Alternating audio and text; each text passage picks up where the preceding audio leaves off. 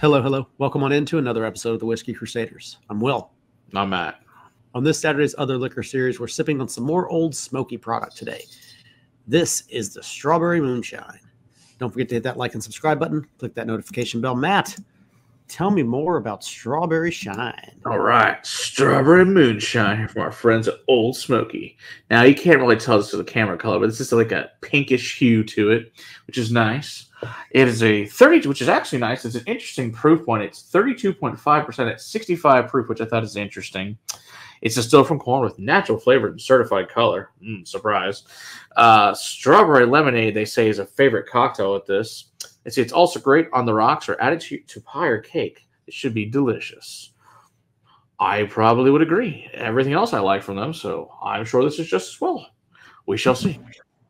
Well, Ole Smoky, much like the Kuiper, has pretty much hit the head on the flipping nail as far as Yep. flavors go. That is strawberry. Like Ooh. straight up ripe strawberries you just picked. With a slight hint of It, it really Rancher is. And sugar. It doesn't smell too too sweet, It's not crazy, but it's sweet. but you're right. It is strawberry sweet. Yeah. So that's not much else on there. I mean, The alcohol is there. yeah, yeah, obviously. But The Yeah. proof point is interesting. I wonder if they have a reasoning behind it. it, it must be in that must be just the perfect because most of the other ones are either 80, 40, Right. 65 is an odd choice. It must it must have been that's just where it worked perfect for this flavor, is my guess. And I'll have to ask Bo and go, hey Bo, Well, why and- is strawberry 65? If it is because that's where it tasted best, bravo. Bravo. Yeah, I- I bet it bravo, is. Distiller. I uh I- I, I really can't stand the concept of, you know, keep it simple, stupid, just proof it all to the same thing. And it's just like, why? Yeah, proof it what's good. I mean, heck, even batch to batch, it can, you know, Oh, totally. Yeah. be tastier at a different proof. Why not try it out? Mm-hmm. Totally agree. Yeah, I don't Heck, you might be able to proof it lower than you currently do, and it tastes better. How cool would that be? that would be cool. All right. I'm, I'm trying so hard to delay this. I don't. I don't want to do it. Hmm. Oh God! I like it. Tastes like strawberry and Jolly Rancher and sugar. So much Jolly Ranchers. It's pretty sugary. But it's quite tasty. I can see- liquefied, sugary syrup Jolly Rancher. Oh my God!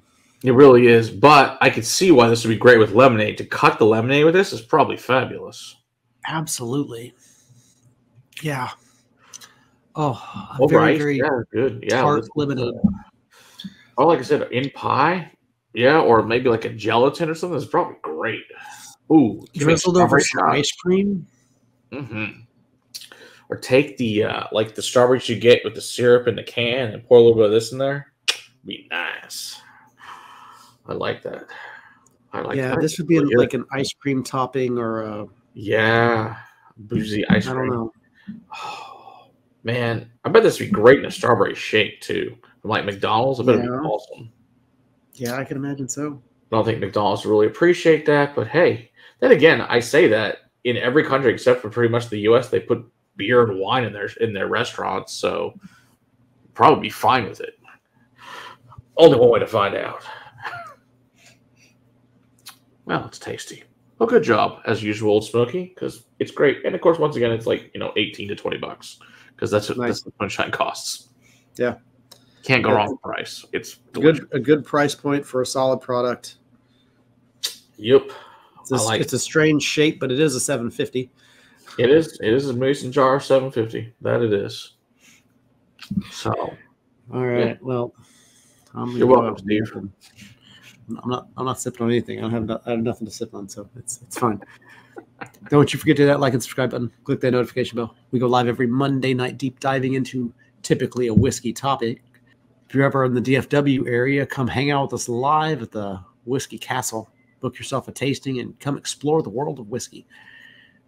Until next time, keep on crusading for the liquids in your glass. Cheers. I'll, I'll let you drink that one.